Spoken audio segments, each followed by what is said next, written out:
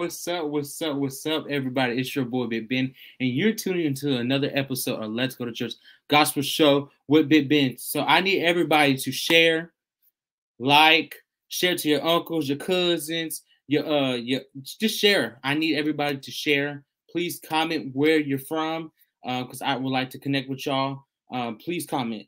Uh, so we got a special guest for y'all tonight. I'm I'm telling y'all right now. She's a legend. She's the lead vocalist of Lisa Knowles and the Brown Singers. She's a two-time Stellar Award uh, artist. We got the one and other, Lisa Knowles Smith. Hi. oh my gosh. Um, I'm over here shaking like I'm I'm getting in film. I, I need I'm getting in film. I'm sorry. now you're gonna have to come out of fan mode if we're gonna do this interview. You're gonna have oh, to come yes, on. ma'am. Yeah, I'm gonna come out. I'm gonna go in, we'll come back out. Yes, so we're just gonna go ahead and go into the questions. So let's talk about the little Lisa. Like, what Oh, wow. made you want to sing? Like, why did you want to sing? First, I want to give the disclaimer to all of your viewers and uh, on your platform to uh, you know accept my apologies for being in my car. Um, so I hope that you know I have continuous good service and nothing happens. But uh, I want everybody to be in prayer for the um, Williams family in Columbus, Mississippi. Yes. is where I'm leaving from. They had a fire on Saturday night over into Sunday morning, and their family lost everything.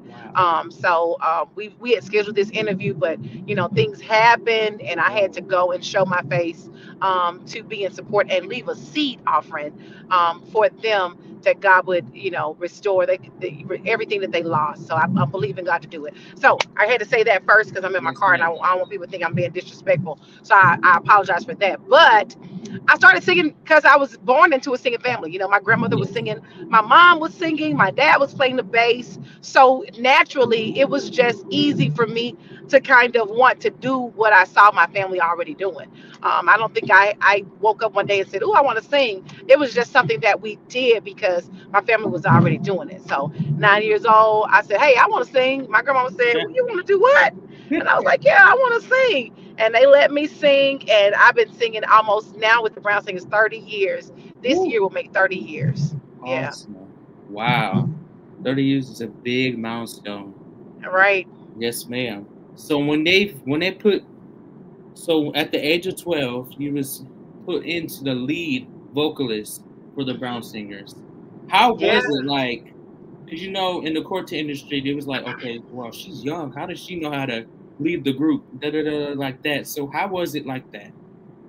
Um, you know, I think I kind of just did what I felt anyway. You know, a lot of people now have certain ways that they, they do things. Then we just sang. My grandmother was still very um uh very hands-on with me. You know, she was the one that was making sure to get the crowd hype and Right. she did all the talking. All she did was give me the mic and I would sing. So there was nothing that I had to learn how to do. I just did what I felt and sang uh, what God was giving me giving me at the time and I let God do the rest. You know what I'm saying? Right. It was it was easy for me. but yes, that is a that's amazing. A 12 year old leading a group, like that's amazing. Oh my gosh. I, I couldn't do it at 12. I couldn't do that at 12. I don't know why I did it, but you know, when I see my kids now, though, my kids they have the same, you know, love for music and passion. My 12 year old, he ain't scared of nothing. If you give him a mic, he gonna shout and do it. And I'd be looking at him like, wow, you know. But I guess that's the same way people looked at me when I did it. So you know, I just try to make sure that I encourage them to do what they feel and do what feels natural for them. And if that's music, music, sports, whatever, any arts, science, whatever it is, do what you feel and you feel like God is leading you to do. So, you know, Yes, there we go. Yes. So many years later, uh, you recorded a song, Work on Me. So please tell us the process of writing that song. What's the meaning behind that song? Work on me was uh, I was 14 when I wrote that song. And honestly, you know, you go to church every Sunday. My grandfather is still a pastor and was a pastor at that time. And uh, he was preaching from Psalm 51 and 10, where David was saying, Created me a clean heart. And the title of his sermon was Work on Me. And, um, you know, kind of learning how in life every situation is not gonna, you know, change. You're gonna have to go through some stuff that may be uncomfortable, but God can work on you that you can better do it. And I was a little bit hood. I'm from Memphis, you know what I'm saying? So pray for me. Um, and I was trying to figure out how to be a teenager and and and and kind of juggle being in ministry because even though I wasn't a minister, I was singing God's word and, and I was in the limelight, you know, so to speak. Right. So I got to live a, a, certain type of life. I've got to be a certain type of way. And right. I wanted to represent Christ in a way that was not, um, you know, uh, was not a, a, disappointment or shameful. So I was like, God, you got to work on me because sometimes these people make me want to slap them. Sometimes these people make me want to, you know. And here we go. Here's this song where I share my feelings and my thoughts as a 14 year old. And lo and behold, so many people felt just like me. yes. Right. But, well, the, the weird thing about it, we both from Tennessee because I'm from, I live in Tennessee. So okay. Yes, so we okay. both just in, so that's a good thing about that. We both just yes, yes. We country, we country down here. We country. Right, right. so you you were singing with the Brown singers, and you went on and sung with James Fortune. You toured with uh, many mainstream artists. How was that? Um, you know, it was it was fun, you know, for lack of a better word. It was just kind of interesting and kind of fun to be outside of the family group because I got exposed uh, to so many different things, you know, different business and learning how to network and uh, different environment and different churches. And I got to go overseas and I got to sleep on a bus, you know, got to go on tour and, you know, all these different things that I experienced outside of my family group. So I loved it. And, you know, I learned a lot out on the road. Uh, one thing James always said to all of his singers, he would say, you know, every good opportunity is not a God opportunity. And uh, he wanted us to understand that, you know, sometimes things are going to come in your life, but that it may not be God. It, it may look good, may sound good, may you may think it's going to be good for you, but but make sure it's not just good. Make sure it's God. And um, you know that that really helped me and uh, you know kind of tr- trying to excel in my career and excel in what you know i'm doing. So hey i've enjoyed it. I enjoyed me and james he's still my big brother uh, and i i was afforded many opportunities from singing with him. I've really really been blessed and i'm very very grateful. Yes i am. Yes. So um Rika, can you put that question back up? The fan wanted the fan. What is what was life like doing ministry and the music business with your family? Um, you know, I think I think there's a, a word that I think people need to understand when you're doing business with family, and that word is respect. I right. can honestly say that, you know, I was a younger generation, three generational group. So it's my grandmother, my mom, and myself. Me being the younger part of that, uh, I was exposed to a lot more, had a lot more information, a lot more opportunities that were provided because of me. And my grandmother and my mother and the Brown singers respected that. They respected that I, you know, could possibly know just a little bit more about um, the industry than they they did. So we we never had any fallouts, you know, because at one point the group was just the Brown Singers. And I never forget, I went to go uh, do some work with Vicki Winans, and I went to Vicki Winans' house, and she laughed. She was like, "Now who is the Brown Singers? Because your name Lisa Knowles." and I was like, "Wait, the Brown?" She's like, "Where the Brown come from? You know, your name Knowles." and I was like, "Well, you're right. You know, my mom." was a brown my grandmother was a brown and that's when at the time the group was formed they were browns so I came, of course, you know, decade a decade later, and here I am now, you know, Knowles. And she said, Well, I tell you what, maybe you guys should change the name to Lisa Knowles and the Brown Singers. So that's how that came about in 2007. Wow. Um, the group was formed in 1972. In 2007, they changed the name and put my name out front. So, you know, they, and I think my mom always knew that that I would kind of uh, expand and explore beyond the spectrum of quartet. So she says that you know that was to kind of set me up too. So and and kind of get some notoriety uh, along with my name. So you know we never had a problem managing um, business and family has always been a matter of respect. As long as you respect right. one another, you can get a lot accomplished. Yeah. Well, I I can honestly say with some family businesses nowadays, they don't they don't respect. You know, they were like, yeah. okay, I need this this amount of money. I want this percent. I want this. No, you have to have respect and boundaries. Yeah. Right. you gotta right. keep the differences like your cousin, and then there's uh yeah it's your cousin. You got to keep that uh turn into business mode. You know what I mean? Right. Not like Right. I know you were family, but we, this is business. We gotta Right. we gotta do it like that. So I completely understand. I completely understand. Yes, ma'am. So now you went solo. You did your first solo album, and you did a Uh-huh. whole bunch of great songs. Great Big God, Testimony, and then my favorite, Jesus. Oh So Lord. please tell me the process of writing that song, and that song just takes me in every time. I'm telling you. so let me say this. Let me let me just go on and, and mess you up real bad. Okay. Jesus really is not a song. Like Oh, uh, it's actually a reprise to. I have a song called Jesus that I did. I did a live recording in 2019, and I, I did a song called Jesus. And after that, it was more of a contemporary style song.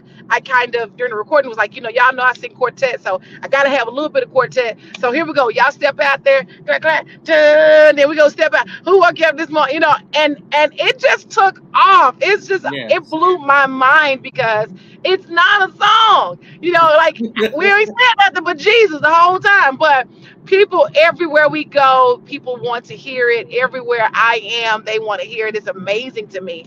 Um, so I, I didn't really write much. We just kind of added the little tag on it, and it took off on its own. And I'm grateful. You know, God does what He wants to do when He want to do it. You know, He don't ask no permissions.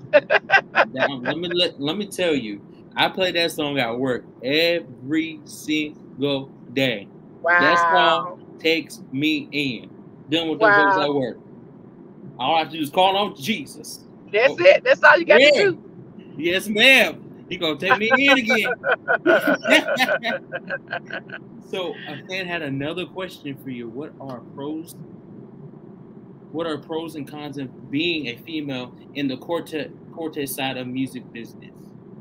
Oh wow, you know, quartet is a very male dominated genre of music.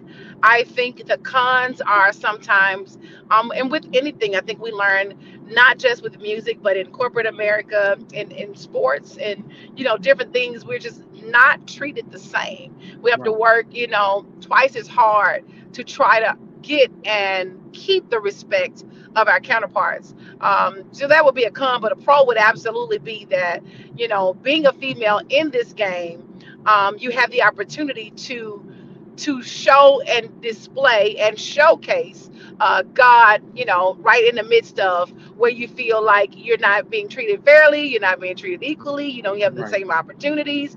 Um, you know, I think if you keep God first, do the main, make the main thing the main thing, you can be successful. And I and I believe that the Brown Singers and so many other uh, female quartet groups have uh, shown themselves to be successful. Tutu, the Truthettes, the Williams sisters, you know, Yeah. uh, the you, I mean, just countless. Caravan, just uh, Evelyn Turrentine, AG, just so many amazing female quartet artists have been able to um, be successful in this genre. When we just keep our head keep our head on straight, keep the main thing the main thing, and uh, do what God has called us to do.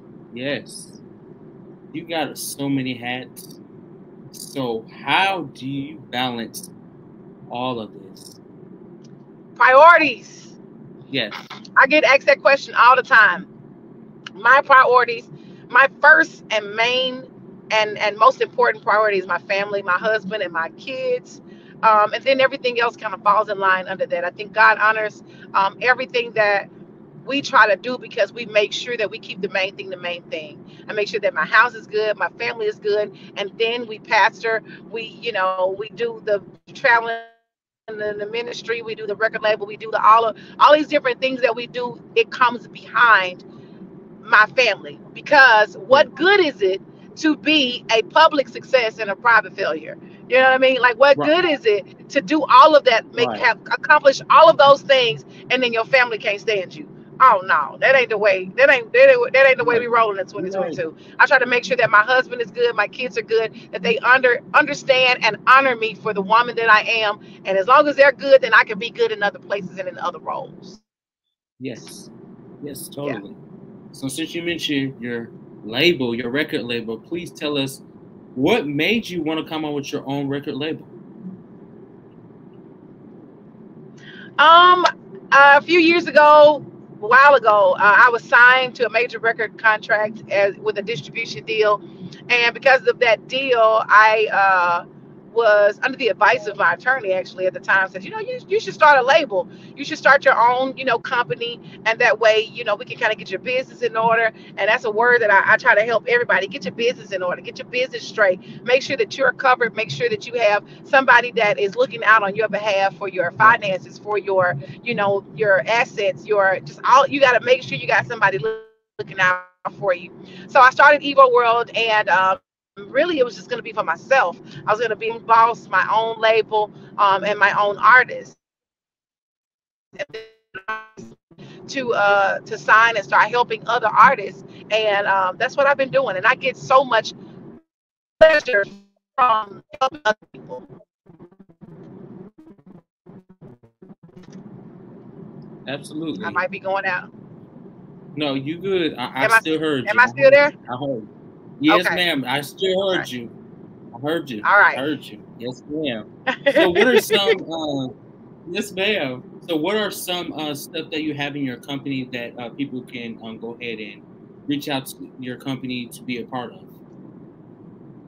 So we do marketing, we do vocal coaching, we do image consulting, we do um, we do songwriting, we do just a little bit of everything. Production uh, pretty much anything that you could do musically we can be a part of it. We we set up photo shoots for people. We do uh, eps we we do the whole nine yards. You could do um, what we call collaborations where we collab with the right. artists. They give us their ideas. They say hey you know i like to do an ep i want to do three songs. I don't know where to start. We take that and we start the process. We start you know we go through the songwriters course, help them write their songs. I do that. I write the songs with them.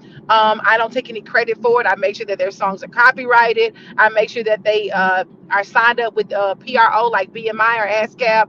Um, and right. then we go into the production stage. After the production is done, we set up a photo shoot, hire a stylist. We do the whole nine yards to give them the entire record label experience, even though they're not signed. You know, a lot of times, of course, it's a service, so they pay for it, but we we pull out. We don't we don't hold nothing back. We make sure that they get the entire experience and uh, make sure that they get you know what they deserve and it's right. the quality of which they deserve. Yep you're right. Oh there's some record labels out there that don't do that as much as you're doing. Um, trying to set them up for success they just be like okay they're a money pit. You know what i mean? Like right oh, i need right. this amount of money or i need this they just not kingdom at all. Right right i started this label from the artist perspective for the artist because I know what it's like to have nobody tell you nothing. You know, everything that, that we learned, we learned the hard way. So if I could do my part in helping somebody not have to go through any unnecessary waste no money go through no unnecessary changes and get it right the first time that's something that we we take pride in yeah yeah, I, I i support you so let me know. I support you. Thank you, Big Ben. Thank you, Big Ben. I appreciate you. Internship stuff going on. I would like to be a part. I do marketing. Yes. Yes, ma'am. So let me know. Absolutely. Absolutely. And you, uh, you're a pastor. Oh my gosh, you got so many hats. So I know. The church. Um, we pastor, my husband and I pastor uh, in Anniston, Alabama, at the Life City Anniston, and um, it is a beautiful thing that we get a chance to do what God has called us to do um, in a way that brings Him glory. I think you know for both of us, we really just want God to be pleased with our life, and we really want to to fulfill our purpose in life. A lot of people live and they don't know what their purpose is, and they won't do what God has told them to do. They won't be obedient. They won't. They won't. You know, and that's not where we are in life. We want to just do. We understand that if you get the heart of God, you get the hand of God. If you get God's heart, if you do what He's called you to do and what He requires of you, then you get what's in His hand. Right. Uh, and what's in His hand is, you know, blessings. He He and we don't do it for the blessings. So don't get that part twisted. We don't do it just for the blessings, but that is the benefit of doing what God has called you to do. So uh, ultimately, He be pleased, He get the glory, and um, you know, as long as He's satisfied, I'm good. So yeah. we enjoy. We are enjoying it. We just started pastoring um, in January. So we are right in midways through, and I think uh, I think it's going well. Um, we, we're excited. It's a church where we love God, love people, and we live free. Oh, y'all, y'all heard it. You started to preach, guys. I felt it. I know. I, I had to come back. My hand went up and everything. I had Yeah, the preacher know, hand, you know. Well, Ah, yeah, yeah, yeah, yeah, yeah, yeah, yeah. So I know for sure if I do come to Alabama, I'm gonna come to your church.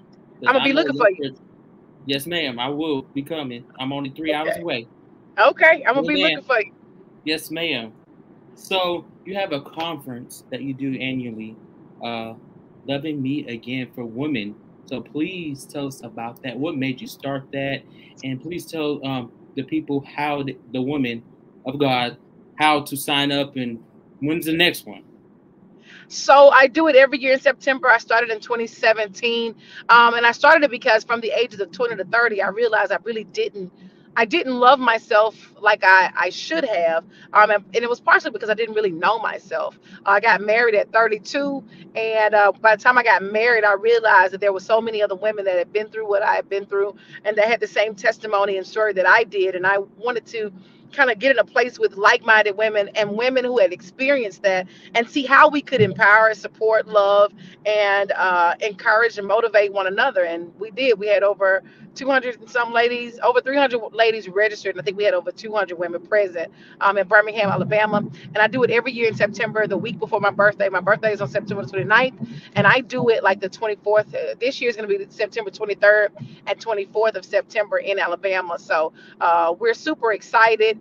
Uh, we always have so many I mean, amazing things happen.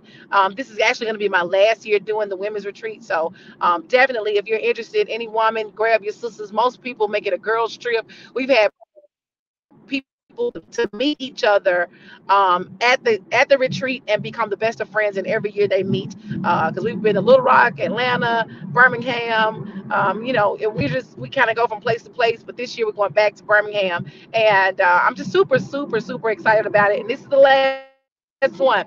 This is the finale year six because that is kind of shifting grace from season to season. I'm going to be doing something else, but uh, I'm excited. It's going to be real good. They can go to lovingmeagainretreat.com to get more information. Yeah, y'all better go there. I already got I got I got four sis I got three sisters and a mother. They gon' I'm gonna try to get them to go there. I'm gonna try to Yeah. Yeah, Yes, tell them to come on. Yeah, I need to go ahead and travel down to wherever the location's gonna be at. 'cause y'all gonna Yeah, yeah. The- y'all, y'all It's all over my. Facebook page, all over my Instagram page, and, and again, like what I said, we got a website, so there's definitely more information there that they can get um, and kind of get the details. It's uh four events over two days, and it's normally really, really good. Awesome. Awesome. You guys. So what is next for Lisa Knowles Smith? Um, I don't know. uh,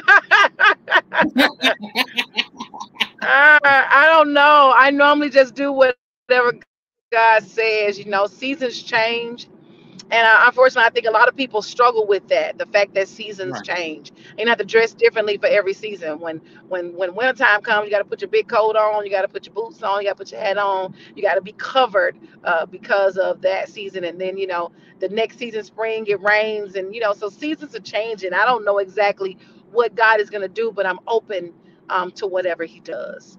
Um, I just know that, like I said, that the season for that is over. I wrote a devotional. Me and my husband wrote a book, and I'm working on um, my my last book um, or my next book is going to be it's called the book of recovery life after recovery. And it's going to be my story just what happened and what led me to this place. So i don't know what's next but i, I just know that god is going to do something. And tomorrow's going to be doing music.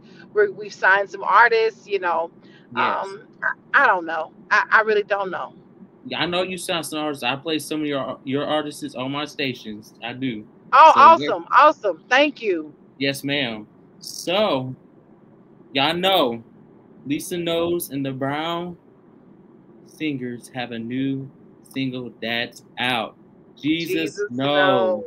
yeah So please tell us about the process of writing that because I know you wrote it. I know I can tell when you write it.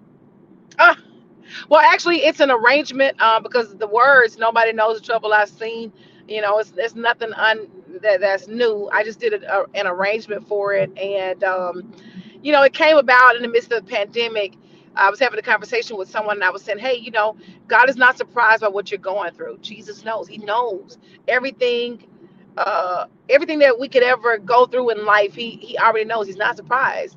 And so when I said that, I started arranging. Nobody knows the trouble I see. And I called my mom, and uh, I was talking to her on Facetime actually and when I got to Jesus knows, Jesus, and she started crying. She went, I mean, she was like toe up on the phone, and I was like, you know what? That's the one. All right, I got it. Never mind, mama. Go on and get keep on giving them praise. And I hung the phone up and called the musicians, like, we got to get on this. And um, here we are late, and, and it seems, you know, God is he he never ceases to amaze me because people all across the world now are loving Jesus knows. And I, I think it's more so um, the message than anything that is encouraging. And that's what I I was hoping that would, would that that message would translate to the people that Jesus knows. He's not surprised. Everything you've been through, every up, every down, every win, every fail, God knows. And he cares about you. Yeah. I'm telling y'all guys, y'all need to go ahead and download it It gonna take you in. You gonna be shouting from the other side of the room. He gonna shout all the way back down this way because I, I, I be shouting on that song. I ain't I ain't gonna lie. So uh, Keep Post put up the uh, their single cover up so people know where to um put it up. Beautiful, just beautiful. That's oh, I like that. The red, yeah, that's a beautiful. That's beautiful. Thank you. Thank oh you. Yes, ma'am. So, um, okay, I was waiting for her to take it off. So I, that's all the questions I have for you tonight. I just want to, I just really want to thank you so much for coming on. Oh, um, thank you. I appreciate you so much for having me, and I thank you for allowing me to be out of order in my car. But uh, ministry goes on, and and and I never miss an opportunity to try to be a blessing to somebody because ultimately that's what this life is about. Um, you know, God is love, and we have to make sure that we're showing love to people and compassion to people, right. um, not just in their time of need, but at all times. So uh, I appreciate you. I thank you for taking the time. I loved seeing all the comments, even though I'm driving and I really couldn't read them. I'm gonna go back and watch after this is over. But uh, mm-hmm. thank you guys so much. I appreciate the love and the support. Please keep me lifted, keep the Brown Singers lifted, and remember, Jesus. No. My God. My God. Guys, uh, I had so much fun. Um, I got this. Uh, I'm number one fan, everybody. Number one fan, Lisa Knowles, and the Brown Singers. Number one fan. Uh, guys, y'all make sure you support them on social media platforms. Um, but yeah, I am done for tonight. We're gonna play the outro, and thank you, Miss Lisa, for coming on. Um, thank you. To you. Yes, thank you. Good night, Hopefully everybody. Have a nice day. Yes. You too.